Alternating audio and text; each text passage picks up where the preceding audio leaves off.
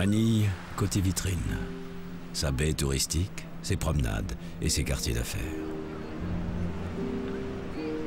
Manille, une mégalopole avec ses enfants des rues. Venus de la banlieue ou des lointaines campagnes, ce sont des enfants abandonnés, drogués, battus, qui voient dans cette ville la promesse d'une vie meilleure.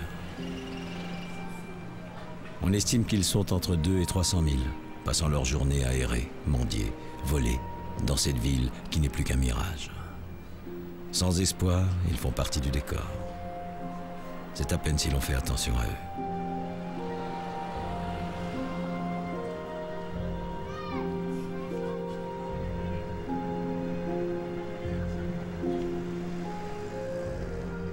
Pour couper la faim, ces gamins inhalent de la colle ou fument du crack. Une façon d'oublier un peu la galère.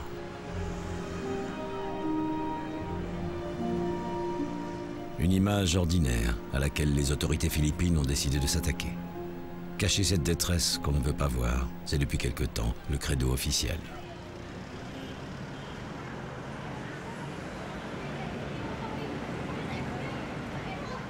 Alors, pour nettoyer les trottoirs, la mairie a mis en place un service de ramassage. Curieux mélange de travailleurs sociaux et de policiers.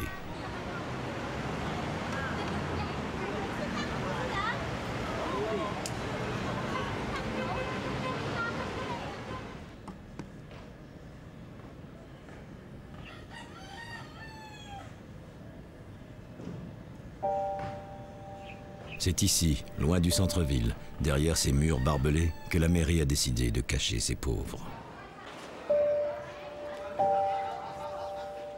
Deux bâtiments vétustes, une prison pour enfants et en face, le RAC, Reception Action Center, un centre social d'accueil, en fait une prison qui ne dit pas son nom, où sont parquées toutes les personnes ramassées dans les rues.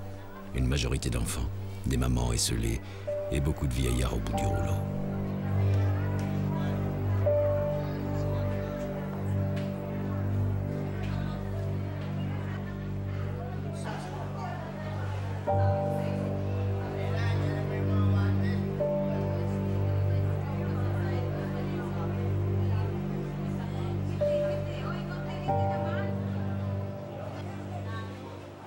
Cela fait 15 ans que Dominique Lemay intervient ici tous les jours avec sa fondation Virlani, forte de ses 30 volontaires bénévoles. Père Dominique, comme on l'appelle ici, essaie de rendre la vie des enfants plus supportable. Le RAC a commencé en fait à l'intérieur de la prison pour enfants de, Manille. Dans cette prison, il y avait donc euh, deux cellules à ce moment-là. Et on mélangeait les enfants qui avaient été détenus avec les enfants qui venaient de la rue. Et en 1992, euh, j'ai découvert que bon, il y avait ce bâtiment-là qui était bâtiment euh, qui était en, très très mauvais état. Donc on l'a refait pour, pour en faire une, un accueil pour les enfants des rues. Ce qui évitait que les enfants des rues soient incarcérés, donc ici dans, cette prison pour enfants. Aujourd'hui, activité décoration et nettoyage pour les enfants. Le RAC fait peau neuve. On attend une princesse. Caroline de Monaco, princesse de Hanovre, est ici en tant que présidente de l'Association mondiale des amis de l'enfance, l'AMAD, dont la fondation Virlani fait partie. Alertée par Dominique, elle vient se rendre compte elle-même de la situation, mettant tout son poids dans la balance pour que le droit des enfants soit respecté.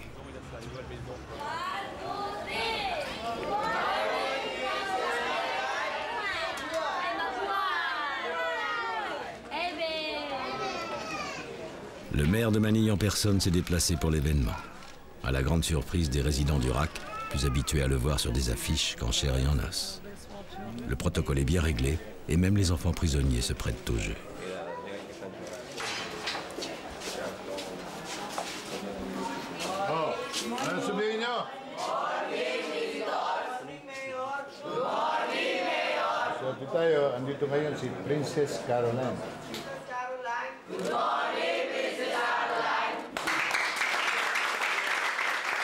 Il faut dire qu'en échange d'un bon accueil, on leur a promis une séance de basket.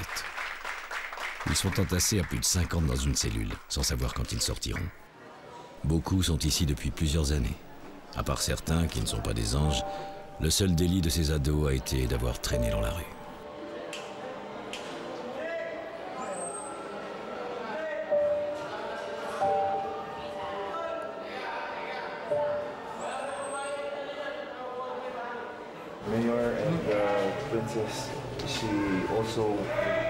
Requesting if before Christmas she would be able to be freed so that she could join her family also.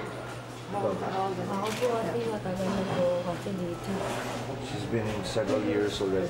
Ilan taon? Na po ako dito. She's been two years here. Matagal dito. I think you've understood by now. They should, I think two years is probably given. Seems like a reasonable time. Après la prison, visite du RAC. Ici, le plus vieux pensionnaire a 81 ans.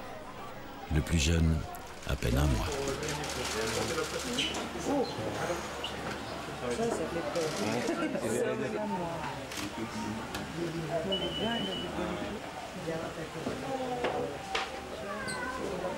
L'histoire suivante, ils se- sont venus à quatre ici, hein, parce que sa mère avait vendu une, une de- une des filles de sa famille. Elle vendue euh, dans un réseau, Donc elle est partie de là pour pas être vendue par sa mère avec son bébé dans un réseau. En fait, donc elle est protégée ici, parce que pour éviter justement le, trafic. hein. Non,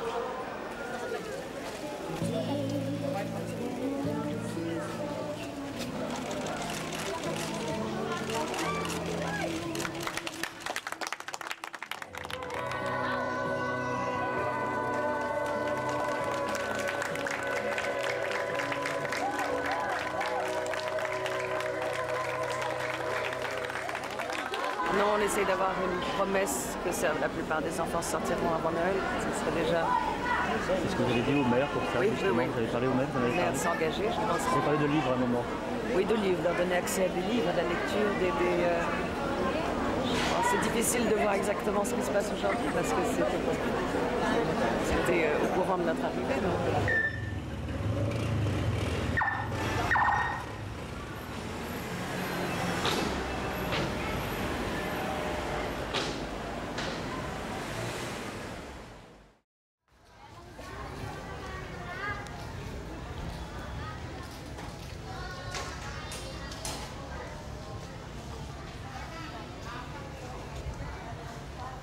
Le lendemain de la visite de la princesse, la vie retrouve son cours normal.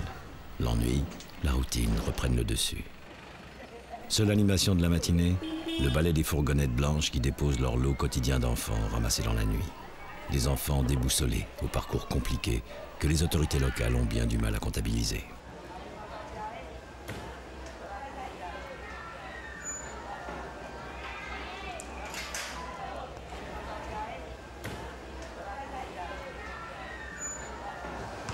Là, a priori, en ce moment, la rumeur, mais c'est qu'une rumeur, c'est que le maire de Manille voudrait faire en sorte que tous les gamins soient fichés, répertoriés, tous les gamins des rues, avec en leur donnant euh, un genre de petite carte d'identité pour pouvoir euh, contrôler en fait les arrivées d'enfants qui viennent de province, qui vont potentiellement devenir des enfants des rues à Manille. Et le fait d'avoir des enfants qui ont des ID, donc il y a ceux-là, ils sont à Manille, on sait, ils ont leurs ID, ils ont leurs papiers, on essaye de les renvoyer en province parce qu'on a leur immatriculation, etc. Et tous ceux qui viennent et qui n'ont pas cet ID, ils vont être renvoyés directement à la, en périphérie de Manille. Mais Solvant Solvant Ilan tao Solvant. Isang. Galing, saan galing ka? Ay, taon na po pala. Isang taon. Ah, Isang taon. Ah. Donc là, par exemple, c'est un, un gamin qui s'est enfui de chez lui. Bon, a priori, il y a un problème de famille, etc. Donc c'est un peu le truc classique des enfants des rues, c'est-à-dire qu'ils s'enfuient parce qu'ils sont battus ou euh, la famille a tellement d'enfants qu'ils ne peuvent, pas- ils peuvent pas le nourrir, par exemple. Donc il n'y a pas de considération, c'est assez loin, hein. une espèce d'ignorance du gamin. Nag-uwi ka? Oh, wala. Wala, talaga. Mabait. Ah, Wala walang peso. Kaya po nila kami palabasin. Hinintay na po kami ng nanay namin. Ah, Hindi po, hindi po alam ng mama namin na nandito kami. Gusto na po namin umuwi. Ce qu'ils veulent, c'est se barrer en fait. Là, ils pensent qu'il y a une chose, c'est se barrer. Donc il y a des chances qu'ils s'enfuient d'ici quelques jours, je pense. Voilà une social worker pa. Lagi kami natin. Wala? Lagi po kami din sinasapak na malalaki. Ah, Gusto na po namin ma oh, mamaya. Parang future project. No, Ah, ang Mayor. Être maire. Why? Bakit? Parce qu'il il aura une vie moins dure. Mayor, Mabait? Mabait yung police sa street. Mabait siya. Pag ako naging pulis, mabait na ako. Il veut, être, il veut être policier parce que lui, il est gentil. Donc ça fera un policier gentil.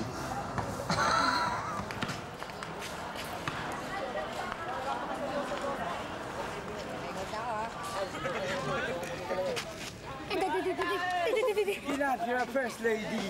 First lady. I did not this for you.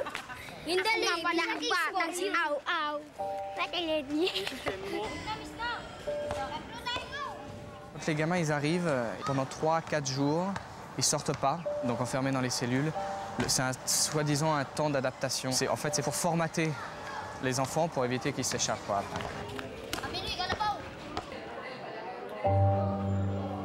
Mais beaucoup ne sortent jamais et restent isolés toute la journée, comme les ados de la prison.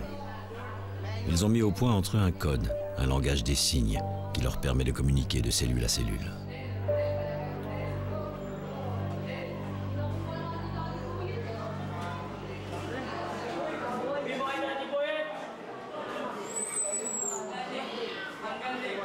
Le reste du temps est occupé à manger, dormir, s'ennuyer dans des cellules exiguës où les centimètres carrés sont âprement disputés.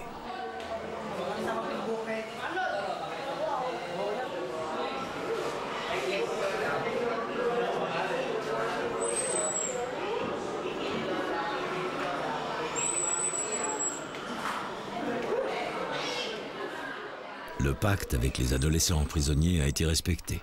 Ils ont droit à leur partie de basket. Mais le temps est limité. Tout est fait pour éviter de les mélanger avec les plus petits, ceux du RAC. Emmanuel, un autre volontaire, veille à ce qu'ils se croisent le moins longtemps possible.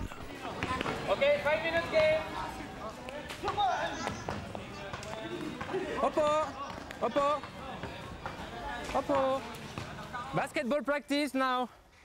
Basketball practice. Isang pila? Ok, isang pila?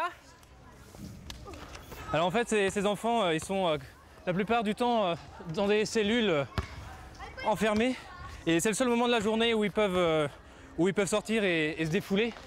Alors ce qui est difficile, c'est que dans les cellules, il y a à peu près une cinquantaine, cinquantaine d'enfants de cet âge-là. Et on est obligé de faire un choix, c'est-à-dire qu'on est obligé de, de choisir entre 15, et, entre 15 et 20 enfants par, par période d'activité. Et on est limité à deux heures. Cha- chaque enfant peut, peut, peut se dépenser pendant deux ou trois heures par semaine uniquement, hein, c'est tout. Il y a des petits bouts de choux. Ah, ils ont des t-shirts qui font deux fois leur, euh, deux fois leur taille. Quelquefois, quand ils courent, ils sont obligés de tenir leur short parce que leur short est beaucoup trop grand pour eux. En fait, ils ont une, euh, une, vie, euh, une vie vraiment difficile, mais quand ils jouent, ils sont vraiment des, des enfants. Et moi, je prends beaucoup de plaisir à, à faire du, du sport avec eux. Get close. Yes. Next one. Alors lui en fait cet enfant c'est un enfant qui est handicapé. Alors ici on l'appelle, euh, on les appelle des, des- autistes. Alors on m'a dit aussi que c'était un psychotique. Alors cet enfant en fait il participe pas du tout aux activités parce qu'en général il est toujours dans sa cellule et il passe son temps à, à pleurer. Et il n'y a absolument aucune prise en charge. hein. Le problème c'est que j'ai l'impression que le, le staff ici n'est pas forcément formé à s'occuper d'enfants handicapés. Donc il est complètement livré à lui-même, il n'est pas du tout stimulé et euh, bah, il se retrouve complètement seul. Anong pangalan mo? What's your name? Anong ang pangalan mo? Hmm? You want to play? You want to play? Okay. Can you pass me the ball? Hmm. What's his name? What's his name? Anong pangalan? Hmm? Voilà. Yeah, yeah, yes. Psychotic. Le, le petit garçon là, donc, il a dit que c'était un, un psychotique. Alors en fait, ici, on les appelle par leur, euh, disons, par leur particularité. Alors c'est comme les, personnes de, couleur, hein, on les appelle euh, les, les, les négros. Lui, on l'appelle un psychotique. Et souvent, on les appelle les specials, les enfants spéciaux. C'est comme en fait s'ils n'avaient pas vraiment, euh, pas vraiment d'identité. Sans attache familiale, sans papier, beaucoup de ces enfants ne connaissent même pas leur nom. En général, L'administration leur en donne un, composé de quelques syllabes.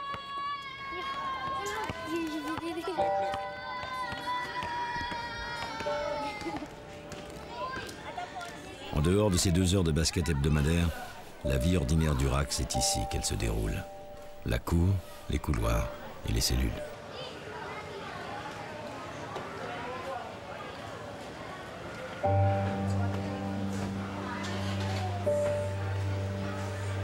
Cela fait trois mois qu'Agnès est ici, sans aucune nouvelle de sa famille. Seul moment d'évasion, la lecture avec son petit frère d'un magazine que nous lui avons donné. Po, po laging ako lang. Kasi po nahirapan din po kami. Lagi po kami nakakulong sa taas. Tapos po, gusto ko po sana ano, magkaroon ng, magkaroon ng sapat na pagka, yung, yung sapat na Anong, ano tong lugar na to para sa'yo? Gabi po noon. Tapos sabi ko po kasi sa papa ko, Papa, punta po ako sa ano sa tindahan. Tapos may nakasalubong po akong lalaki. Sabi sa akin ng lalaki, Neng, Neng, halika dito. Sabi ko, bakit po? Bibigyan kita ng chocolate. Sabi ko, sabi ko, bakit po? Hindi basta bibigyan kita ng chocolate. Doon sa may madilim. Tapos pula niya po akong ginamakan. Sumisigaw na po ako, sasabi po sa akin. Huwag kang sumigaw, walang makakarinig sa'yo dito. Sabi niya po sa akin kapag magsusumbong daw po ako, paano daw babalikan niya pa daw ako, papatayin daw lahat ng ano ko. Kaya po sabi ko hindi po ako magsusumbong.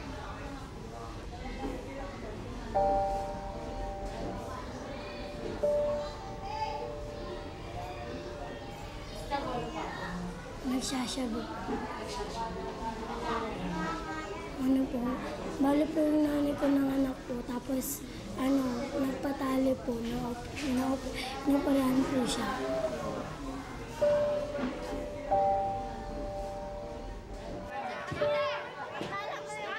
Agitation inhabituelle dans la cour du RAC. Une quarantaine d'enfants se trouvent soudainement embarqués dans la fourgonnette de la mairie, choisie un peu au hasard, sans explication.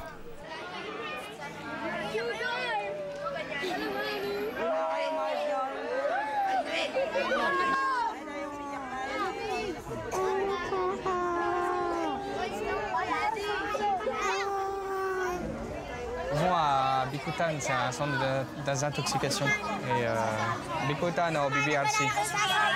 Et en fait, c'est- ce qui s'est passé les derniers jours. Ils ont fait des rescue missions pour tous les gamins qui utilisent des. qui sniffent de l'alcool, qui fument du chabou, c'est l'équivalent du crack ici. Et euh, ils les emmènent tous là. Et euh, ce qui est assez curieux, c'est qu'il y a des gamins dedans qui sont là depuis beaucoup plus longtemps. Je, je sais pas, je comprends pas trop ce qui se passe.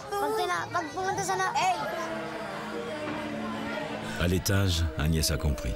Son petit frère se trouve parmi les enfants. Le seul lien familial qui lui restait vient de partir. Elle sait qu'il va retrouver un enfer encore plus terrible et qu'elle ne le verra pas avant six mois, dans le meilleur des cas. Un retour qui dépend du bon vouloir des autorités locales.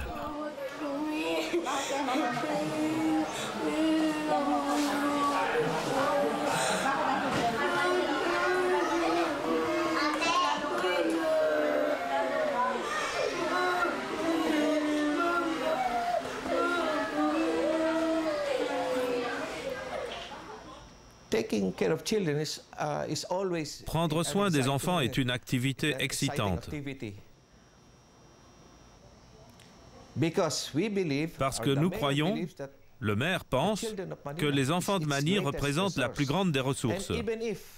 Et même s'il y a des enfants des rues, des accros à l'alcool, même s'ils sont abandonnés, négligés, ils restent notre ressource. C'est pourquoi nous travaillons dur pour leur donner un avenir meilleur. Uh,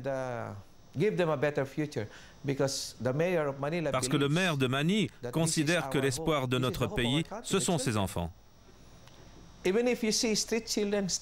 Même si vous les voyez comme des enfants des rues, cela reste des enfants. À la différence des pays européens où certes vous avez des endroits magnifiques avec des cathédrales, de belles églises, des musées, mais vous ne voyez plus d'enfants. Any children anymore. En France, il paraît même que vous avez plus de chiens que d'enfants.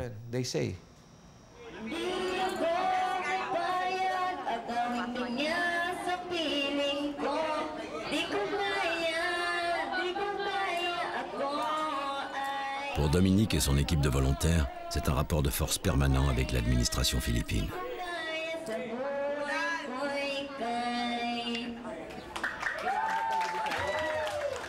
Un combat quotidien, jusqu'au moindre détail, comme ici, avec un retard de réparation dans les sanitaires. Excuse me.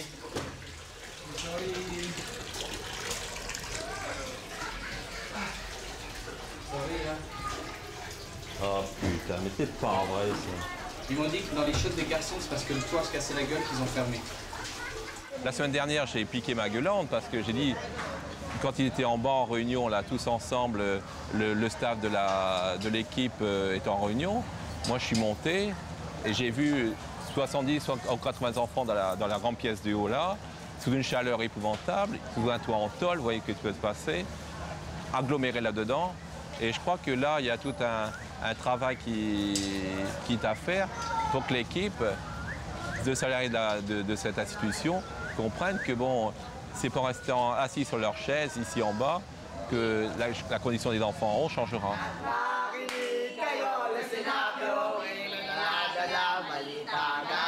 On enferme, on, incarcère, et puis on, met un, verrou, on met un, cadenas comme ça, bon, ben, on, a, la paix. Quoi.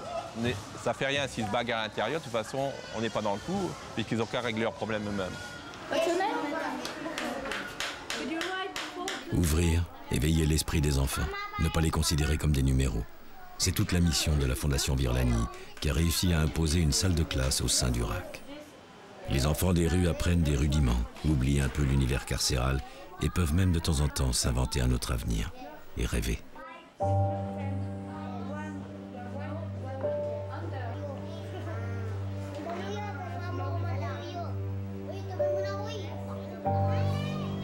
Autre nécessité, la santé. La Fondation a pu enfin ouvrir une petite infirmerie il y a quelques mois. Hey, come on. You are suffering too much. Oh. So, come on, come on, come on. Yeah. Il avait envie de partir, en fait, que les social workers l'amènent ailleurs. Donc il s'est complètement tapé contre le mur, euh... enfin fracassé la main. It's broken, ok Là, c'est la première fois que je vois quelqu'un qui s'automutile de la sorte pour pouvoir partir du rack, en fait. Donc, euh, mais ça ne m'étonnerait pas qu'il y en ait plusieurs qui le fassent. Bah, c'est vrai que la plupart du temps, ils préfèrent vivre dans la rue qu'ici. Just, just wait a minute. I will, I will go and get the doctor and Ernesto to translate. Pour Lynn, une volontaire néo-zélandaise, il y a urgence du matin au soir. Flemme. Ces journées n'ont plus de limite, tant les pathologies sont nombreuses et variées.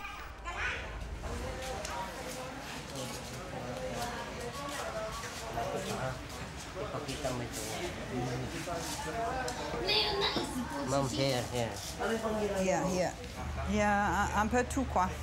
Il y a les petits qui ont juste un petit euh, morceau de, peau arraché. Ils veulent un peu de la lotion rose et un bisou et ça va.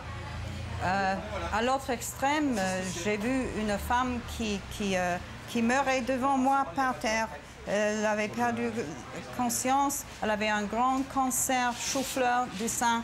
Elle avait de, de, liquide vert qui sortait de la bouche et de le vagin et tout. Et elle meurait devant moi, comme ça.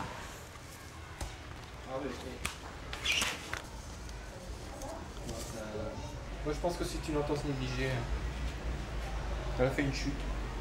Oui. Sa genou qui n'est pas immobilisé, il faudrait qu'on l'immobilise. la santé de, des gens ici, c'est un peu. Euh, c'est pas une priorité. C'est pas la principale. La santé n'est pas une priorité. C'est pas une priorité de, du système. C'est pour ça que le Virlani, justement, a introduit euh, une composante qui, qui était partiellement négligée. Crois qu'il est important de savoir qu'on les gêne dans leur comportement. C'est vrai que dans les volontaires me disent bah, qu'est-ce qu'on fait là? Mon équipe aussi de salariés de la Fondation me dit mais qu'est-ce qu'on fait au RAC? On n'a qu'à les laisser faire. Mais on n'a pas le droit de les laisser faire. On n'a pas le droit. Parce qu'en fait, qu'est-ce qui se passe? Si on les laisse faire, déjà les droits des enfants ne sont pas respectés beaucoup. Alors si on part, je pense qu'ils ne sont plus respectés du tout. hein. On est là aussi pour les bousculer. Je crois beaucoup à ça, moi.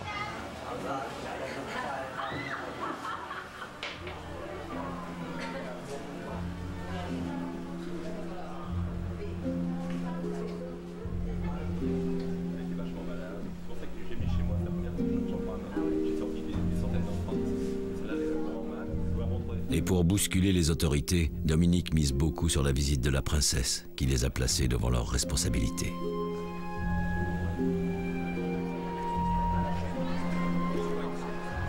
Un signe, à la fin de la visite, le maire s'est engagé à faire un geste pour les enfants avant Noël. Avant Noël de quelle année? Moi, je peux vous assurer aujourd'hui que j'ai tout faire. On va se battre ensemble pour que ces rêves et ces promesses faites à la princesse soient réalisées. Les rêves, cela fait longtemps que les enfants perdus de Manille n'en ont plus.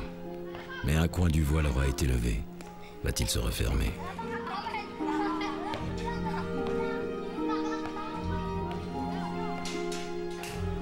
Agnès, elle, attend toujours des nouvelles de son petit frère.